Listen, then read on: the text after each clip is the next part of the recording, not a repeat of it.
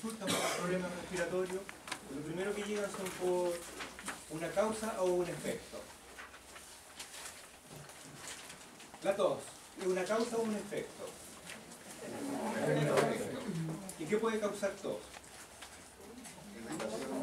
Alergia. Alergia, algo mecánico, el mismo collar a veces. ¿ah? Sale a cada vez que sale a pasear, eh, tos. Pero cuando hay problemas infecciosos, el respiratorio está asociado a otros órganos de forma directa, lo que vamos a, ver. Por lo tanto, a veces el, el- mal de, de toda persona es cuando va al médico porque tiene una sensación extraña o ve algo extraño en un perro. Entonces es como ver el humo, pero nadie ataca el fuego. ¿Ya? Los signos de, de trastorno respiratorio, alteraciones congénitas, tráquea, tónico. Y tenemos que entender que el respiratorio no solamente son el pulmón, la tráquea y la nariz. Ya, sí, también existen elementos accesorios al respiratorio. ¿Verdad? Como el, con- el conducto de, de Eustaquio, las trompas de Eustaquio, que una característica importante en los caballos es que forma unos verdaderos sacos que se llaman bolsas futurales y eso produce una enfermedad de Burma o el mal, en el, en el, en el campo le van a decir que tiene el mal. Tengo una bestia que tiene el mal. Ese, ¿ya? Entonces la, la, la cultural. Entonces a veces cuando hay problemas respiratorios, incluso gástricos, redunda sobre todo en los cachorros, no son los humanos, con problemas de otitis, otitis, otitis, otitis. ¿Y es por qué? Porque el, el respiratorio está conectado al oído. Los senos, sinusitis, también, ¿verdad? Eh, ¿Qué otro? Los ojos. ¿Cómo- ¿De qué forma están conectados los ojos con el respiratorio? En las sombras, ¿no? El conducto nasoso. O sea, naso. ¿Ya? Y en, que- en los caballos, en los perros también siempre tienen problemas de obstrucción. Eh, y a veces en caballos también tienen problemas de obstrucción porque pero la inflamación está a nivel del respiratorio alto. Entonces cuando hablamos también de respiratorio tenemos que recordar que existe el, respiratorio alto, ¿verdad? Y el respiratorio bajo. El largo, por ejemplo en, la, en las razas braquicefálicas también implica una serie de trastornos, de trastornos asociados.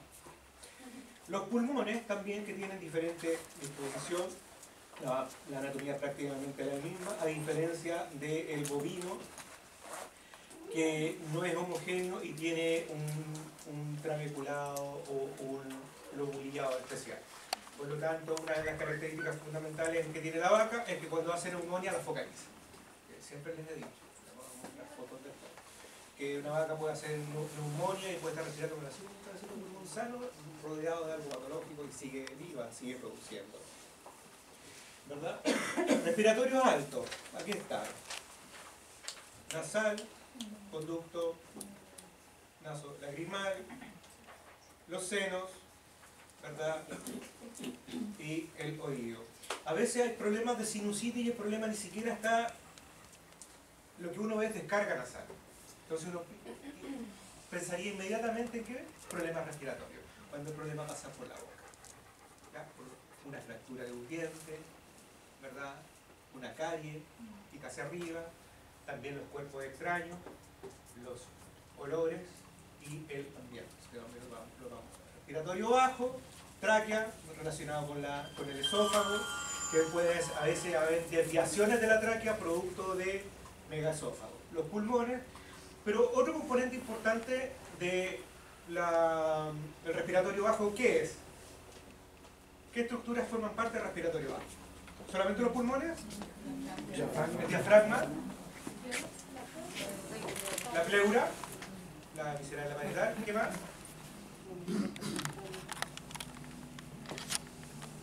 Costillas, costillas. ¿Y el? Externo, perfecto. Entonces, cuando hablamos de trastorno respiratorio, huésped, variedad de especies, ¿verdad? Eh, a diferencia de, los mamíferos, los, los reptiles y las aves, que las aves no tienen, ni los reptiles no tienen, es rápido, ¿verdad? Y tiene una cavidad abdominal con el torácico y eso se llama, ¿cómo se llama? Es como respira, es complementario. El celoma, ¿verdad? Entonces, dependiendo de los huéspedes, van a haber eh, trastornos dependiendo de si es un gato, un perro, una vaca, todos compartimos los mismos virus, o sea, de la misma familia, pero son especies específicas, todo lo demás. Eh, el, el, huésped, eh, también existe variabilidad dentro de la misma especie, perro, ya lo vimos, doligocéfalo, ¿verdad? Y los brachicéfalos. Desde el punto de vista traumático, eh, cuerpos extraños, obstrucciones, traumatismo, y el traumatismo puede ser desde, el aéreo alto, nasal, del laringio y del traqueal. Y el traqueal generalmente son por colapso. En animales menores, por mordedura, ¿verdad? Que se rompe el, anillo de cartílago. Y el que tenga la oportunidad, espero que no, eh, a veces en el campo las obstrucciones se, se, pasan con una tabla. Eh, si una persona le ve que una vaca se está, ahogando y porque tiene la manzana acá, agarra una tabla, y le saca la manzana del esófago, la manzana pasa, pero no pero castiga. ¿Ya? Otras complicaciones que tiene la ruptura del, ya sea del respiratorio alto, incluso las de respiratorio bajo, es el enfisema subcutáneo. ¿Conoce el enfisema subcutáneo? ¿Cómo? Pero, pero ¿alguien ha visto un enfisema subcutáneo alguna vez? Es como si a un individuo le hubieran puesto aire entre medio de la piel. claro, y se empieza a inflar. Eh, ¿ah? Es como la en el fondo está, es como que si tuviera esta burbujita en, el, pasa, puede ser abierto o cerrado. Cerrado es cuando se rompe el cartílago y el perro trata de ingresar aire y en vez de ir de la tráquea, como la tráquea colapsa, empieza a echar aire por el medio de la piel. Simplemente. También pasa con las costillas cuando se. ¿Ya? Cuando está en el respiratorio. Pero una vez vi un caballo que tenía eh, enfisema subcutáneo porque tuvo un traumatismo después de un cólico. Tuvo dolor, salió corriendo, se cerró una estaca en el brazo, empezaba a caminar y el efecto de caminar en el axila hacía como un fuelle. Ese es entero, está las patas.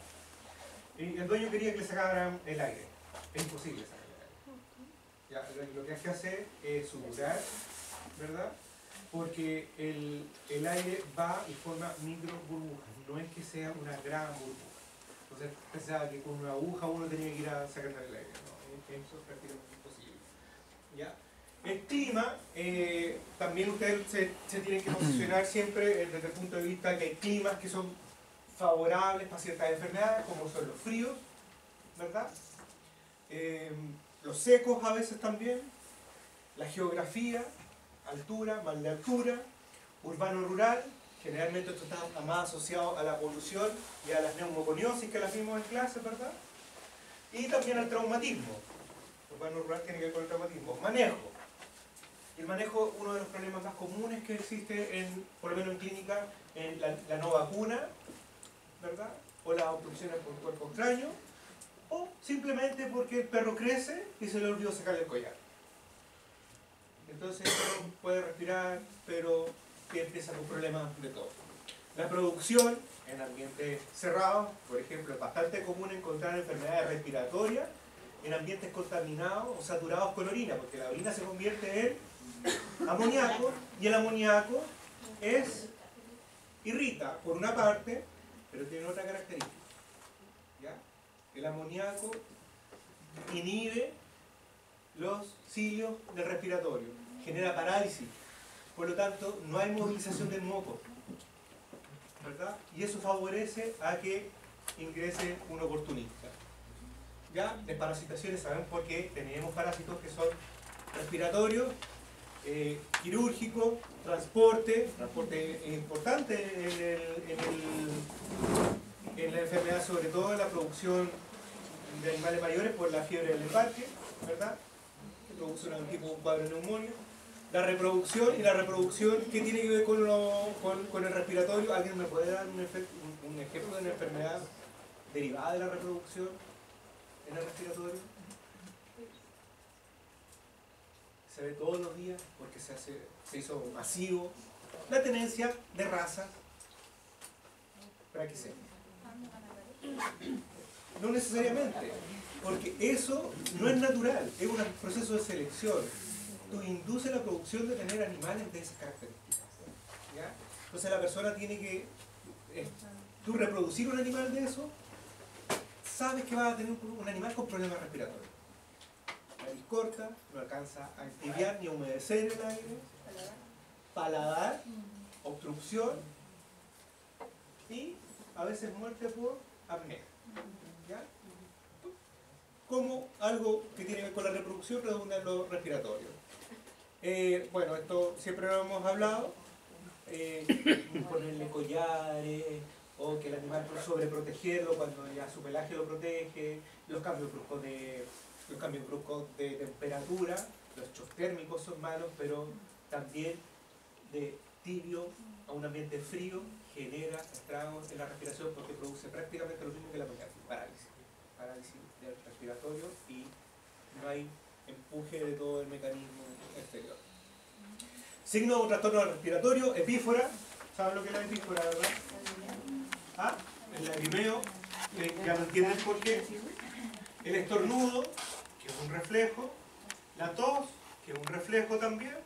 Eh, eh, en el caso de la tos puede ser central o periférica, central por un mecanismo que esté eh, estimulando el centro de la tos acá. Y el periférico porque estimula los receptores periféricos de la. Y ahí uno va al reflejo ¿ya? Y te hablamos de los distrés respiratorios, distrés respiratorio o trastorno respiratorio, ¿ya? Taquipnea, braquipnea, el Kussmaul, el chain stone y el, la apnea. ¿Qué es esa cosa? El Kussmaul, el chain stroke. Yo lo busqué, profe. ¿Diferencia entre todo y estornudo? Entre tos y estornudo, eh, la tos viene de expulsión desde la vía baja, tráquea, por boca. Y el estornudo es de alta, con boca cerrada. ¿Ya? Expulsión de alguna irritante a nivel alto. Taquipnea, todos saben lo que es una taquipnea se define como una respiración alta, cuando corre. Con tanto informe. ¿Ya? El. ¿De acuerdo? La bradipnea, bueno, ahí está, un, un, comparar un conejo con un- una tortuga, la respiración en leve. Cuando está relajado, y a veces la persona piensa, oye, se está muerto. ¿Está ahí? No, está respirando. Está tan relajado que prácticamente tiene nada. El, la respiración Kushmau es la respiración ácida. ¿Ya? ¿Ya? O la respiración de acidosis metabólica. ¿Por qué? ¿Por qué ocurre este fenómeno? Porque, ¿cuál es el pH de la sangre? Es neutro. ¿Pero qué es neutro? ¿Qué es neutro? Para la sangre, ¿qué es neutro? 6,5 es. Sí, entre 7, entre 7.25 y 7.35, 7.4. Ese es el rango de la normalidad. Algo superior es básico e inferior a 7.2,5 es ácido.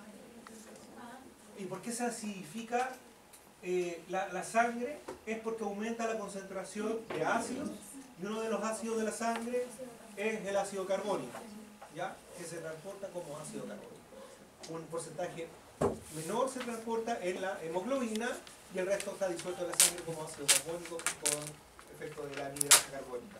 ¿ya? Entonces, ¿qué es lo que busca la respiración acidótica o la de Kushmau? Es incorporar oxígeno y sacar lo máximo de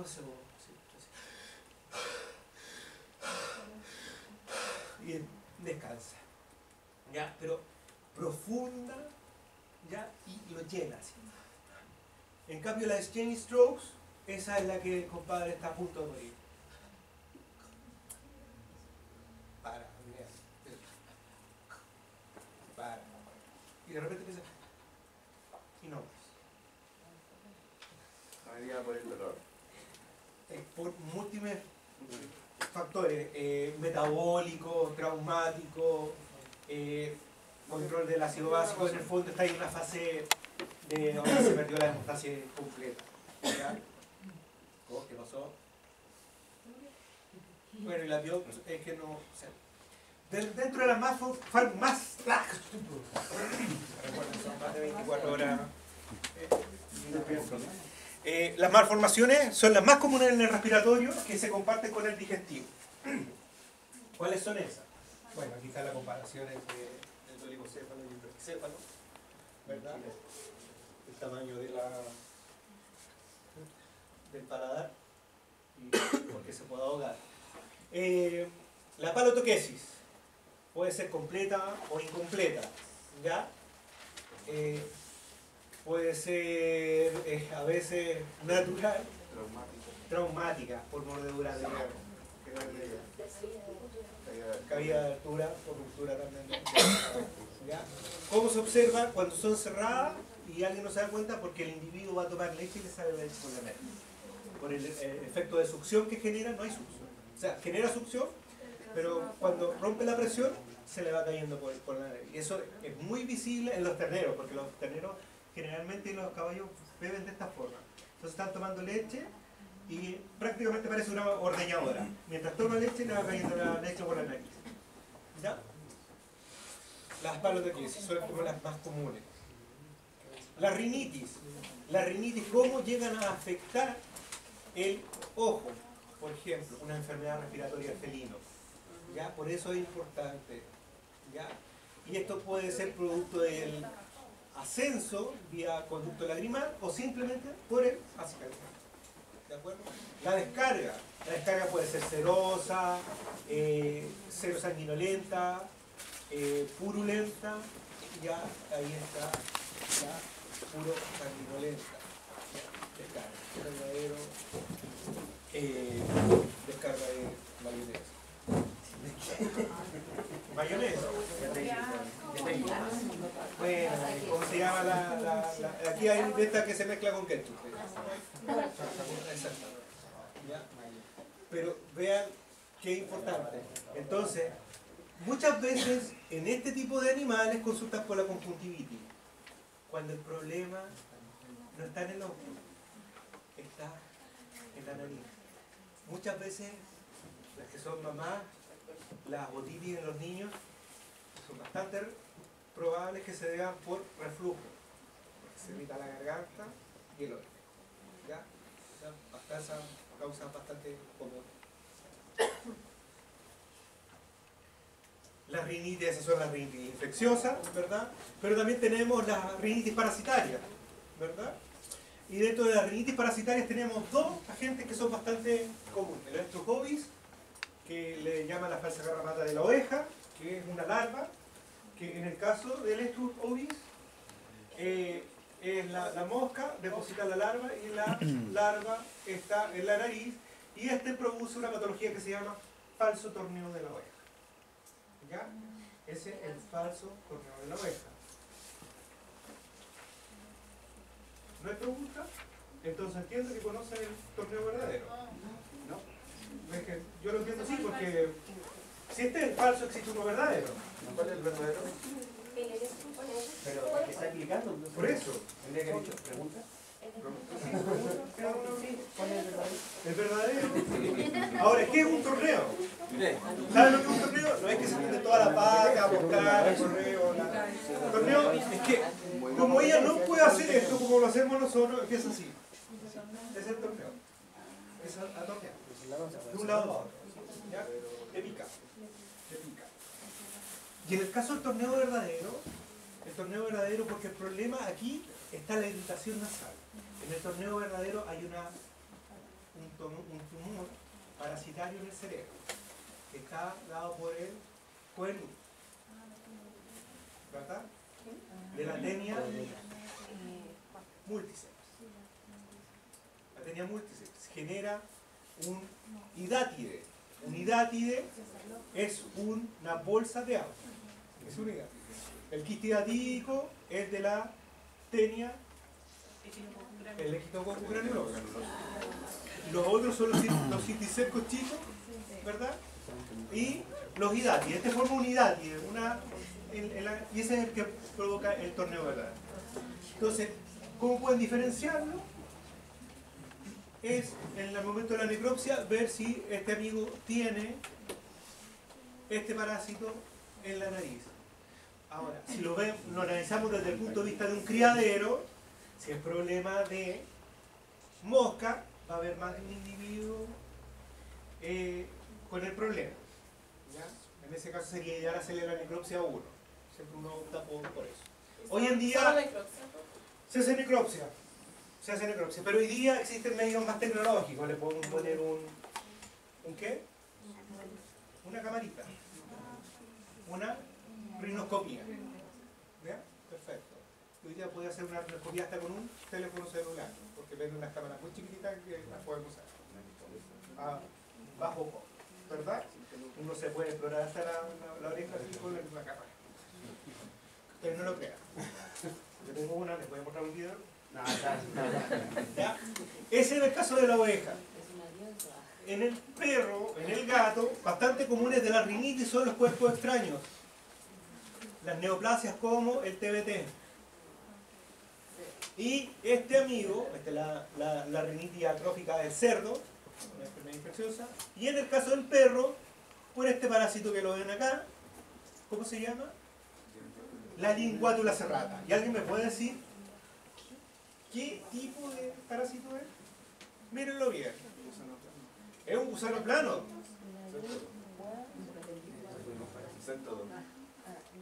Parece todo eso, ¿verdad? Es una centolla. Es un crustáceo. Es un crustáceo. No parece crustáceo, pero es crustáceo. Linguátula cerrada. Entonces el perro rato anda así.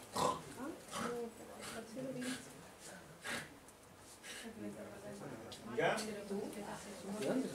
Entonces ahí el diagnóstico sería un endoscopio y ver el parásito que genera la rinitis.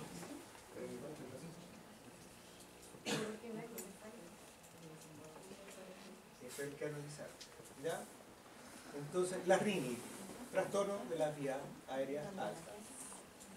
Gurma, el mal o el empier de la fuerza cultural. ¿Verdad? Agente causal, Streptococcus X. Eh, se maneja con antibiótico. Eh, el problema está, miren la inflamación que está. ¿Qué pasa si esto se rompe hacia afuera? Afortunadamente, pero si se rompe hacia adentro, ¿qué puede producir? ¿Usted cree que va a romper la tráquea? ¿Qué estructura es más blanda que la tráquea para romperla? Más que la neumonía por aspiración. La yugular. Y puede producir un trombo, ¿verdad? Una embolia pulmonar. ¿Ya? La colitis infecciosa, respiratorio las aves, bastante común en el campo, la gente que cría eh, gallinas, y se forma este absceso eh, de forma de queso o de caseificación, ¿verdad? Por eso viene el término de caseína, queso o un absceso caseoso. Esto es un absceso caseoso y caseoso viene de caseína, de queso. ¿De acuerdo? Sí. Caseína, queso. La caseína es la proteína de la leche. Cuando coagula forma queso. Y este es un absceso en forma de queso. Un absceso de caseificación. Característico también, ¿qué otra patología produce este tipo de absceso? La tuberculosis, perfecto. ¿Ya? Eh, esto en el campo a veces lo conocen con el nombre de Pepa. Pepa. Y a los gallos le dicen George.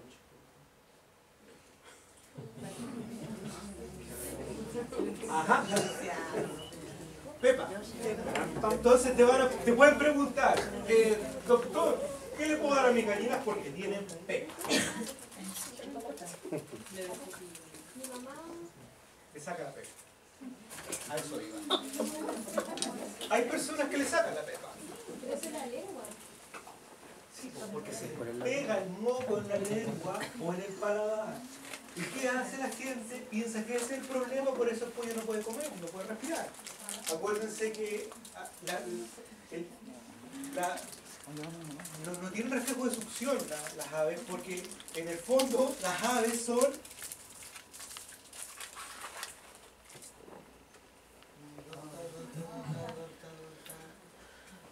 así. Eso es normal en una ave. No es mamífero.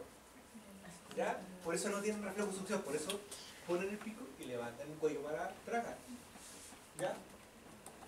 Entonces, ¿qué hace? Como no puede comer, porque tiene ese cuerpo obstruido ahí, la gente le saca la pepa. Que en el fondo le saca este material que se les pega y si la gallina puede volver a respirar y a comer.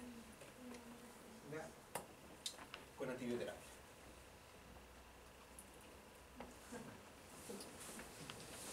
Posición de la respiración. Ortopneica, ¿verdad?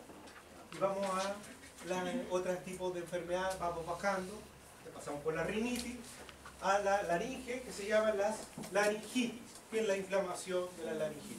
Tenemos la laringitis gangrenosa, y esta es típica del ternero o de la vaca, animales nuevos, es bien característica porque el animal está como ese, en forma de vaca, y tú te acercas y tiene un olor así como a ensilaje. ¿Ah? A ensilaje. Comparación de una laringitis por Fusobacterium necrophorum, inflamatoria, aguda, y también la parálisis laringea del caballo. Entonces, ¿qué va a pasar? En caballos com- competidores eh, no pueden ventilar bien y se produce el aleteo. Mientras va corriendo,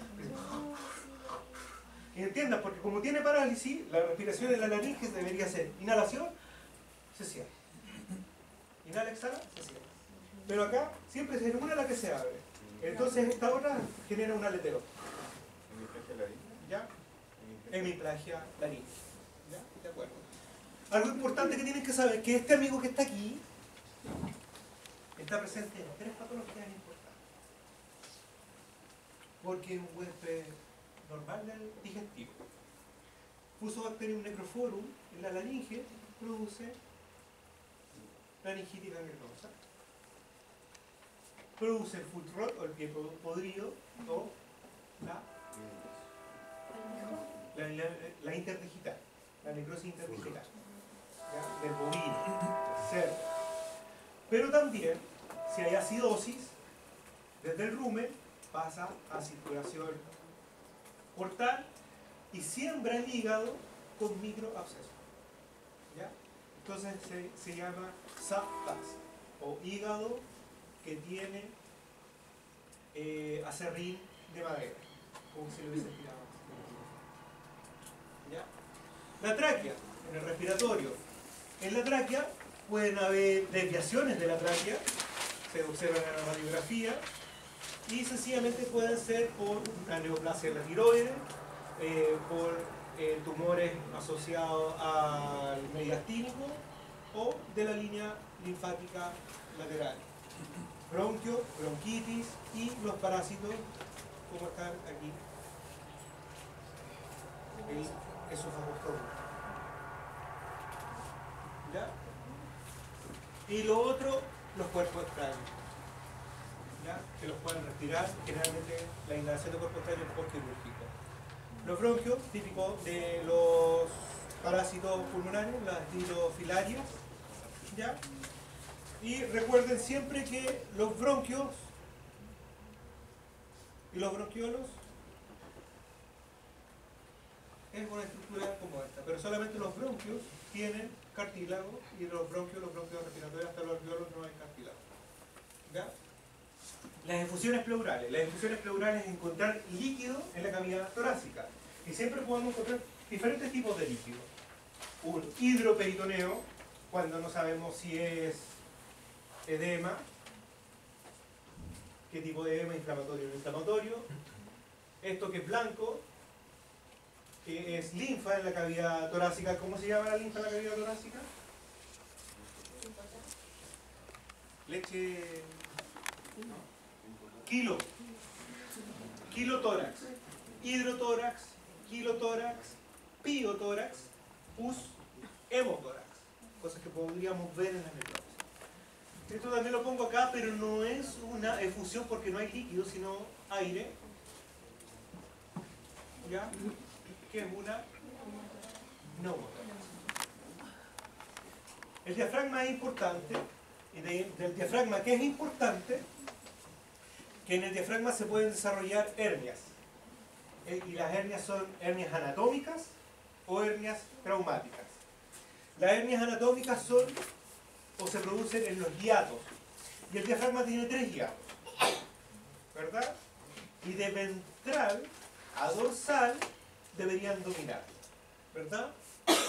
El más dorsal de todos es el de la arteria aorta. El hiato que está en medio es del esófago y el más ventral de todos es el de las cabas. Y los traumáticos generalmente se rompen en estas líneas. Acá. Esta parte. La más común es la de acá. Mucho el, el- los golpes y la posición típica que van a encontrar el gato para poder respirar es esta, como que está orando. ¿Cierto? Así. ¿Por qué? Porque así bajan las vísceras. ¿Entiendes? El gato se pone así para poder respirar. Y puede respirar. Lo que pasa es que si él baja, las vísceras suben y le comprimen, pasa al intestino respiratorio y no puede respirar. ¿Ya? Y en el fondo ocurre lo que está aquí al lado. Está el hígado, está el diafragma, se rompió el diafragma y mira, pasa el intestino para acá. Me quedo bien bonito, no a correr en necesito. El diafragma, ¿ya? Y la víscera, puede ser. Generalmente pasa por el lado izquierdo porque la mayor parte del diafragma está el hígado. ¿ya? Pero eso no quiere decir que tampoco pueda ocurrir lo contrario, porque una vez hice una necropsia acá de una cabra, no, de un ciervo, que absorbió el golpe y le rompió todo el, el diafragma. Tenía todo arriba. Todo arriba. Y seguía vivo. Se murió porque estaba gestante. Entonces como creció, más se comprimió y murió asfixiado. Y murió al parto, con las patas afuera de la piel. ¿Cierto? Podía compensar bastante. Eh, el IBR, que son por el herpes tipo 1, y el IBR produce conjuntivitis, rinitis o red nose, y también produce lo que hablamos en la primera clase, ¿ya? Y produce aborto.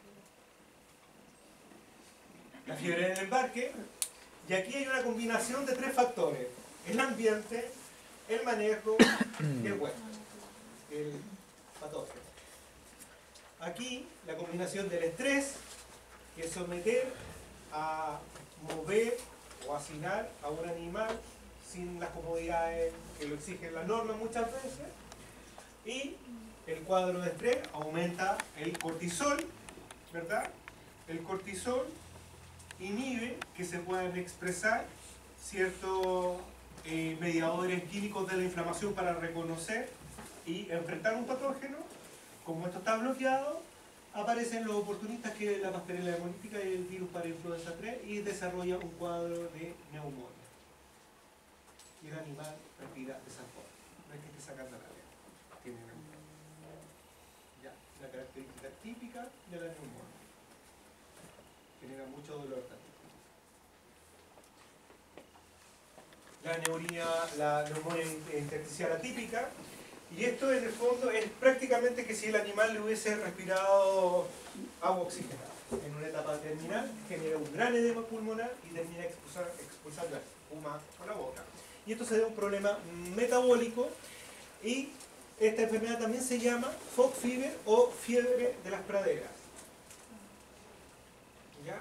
Es porque, porque las praderas nuevas, después de la lluvia del invierno, crecen un pasto muy rico en triptófano, que en el rubio por efecto de la bacteria se, vuelve, eh, se convierte en 3-metilindol y el 3-metilindol cuando llega al pulmón induce esta respuesta inflamatoria y produce una liberación intersticial, no dentro del alveolo, entre los alveolos. ¿Ya? Y eso después genera un gran edema y el animal muere sofocado. ¿Ya? Entonces, el, la agente causal es el triptófano, ¿verdad? Que es un aminoácido. Pero se comprobó que no es el triptófano, sino en la conversión del triptófano al 3-metilindol. Porque al momento de inyectarle eh, triptófano a un individuo no le pasa absolutamente nada. Pasa directamente. Se lo puede inyectar en todo venoso, al músculo, pero si se lo das oral, las bacterias convierten el triptófano en 3-metilindol y este cuando llega al pulmón se activa una reacción igual que cuando entra en contacto la sangre con el oxígeno. Las neumonías por aspiración típicas del manejo, principalmente, pueden ser también anatómicas, producto de la eh, fisura palatina, o mal manejo operatorio por el no respeto de la ayuda, o mal sondaje. La tuberculosis, que la vimos en los procesos crónicos, ¿se acuerdan? ¿Cómo se llama esta célula gigante? Langhans. Y ahí al centro hay un núcleo gaseoso. Todo eso es gaseoso. Pus gaseosa. La corona de linfocitos, la célula gigante, los macrófagos y la bacteria del núcleo gaseoso.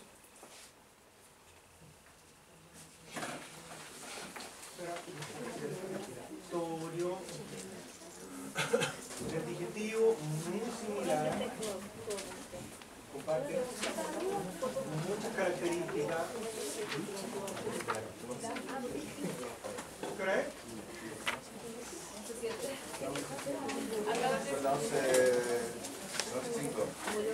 Respecto al digestivo, la especie en, medicina veterinaria Así como el respiratorio puede variar entre los mamíferos, los reptiles y las aves, el digestivo es mucho más complejo.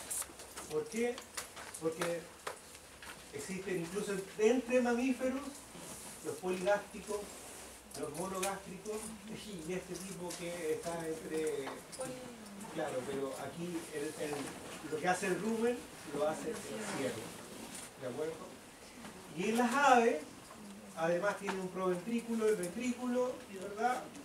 Aquí está el hepatomáxila, que está aquí en esta Y tiene dos, dos ciegos, que en los ciegos acá generalmente es donde se desarrollan las patologías.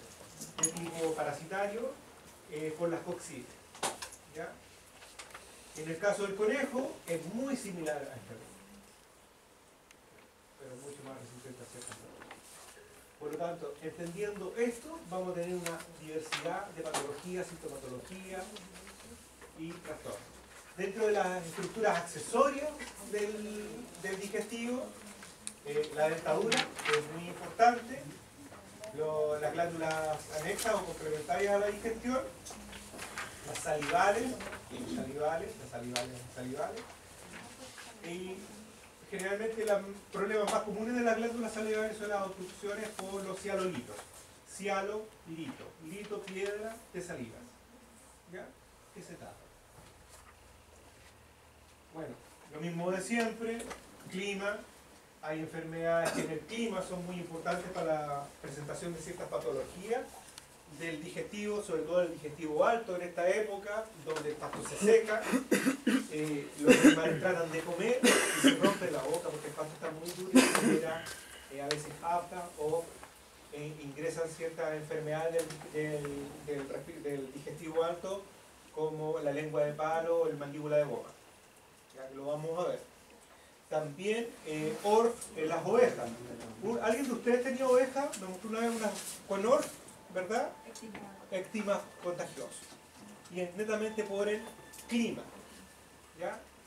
Que es un virus. La geografía también juega un rol importante.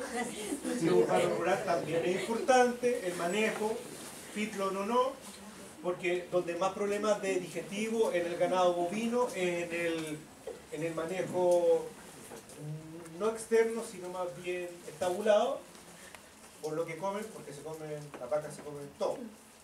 ¿Te parece? Un amigo. Chancho, todo, todo.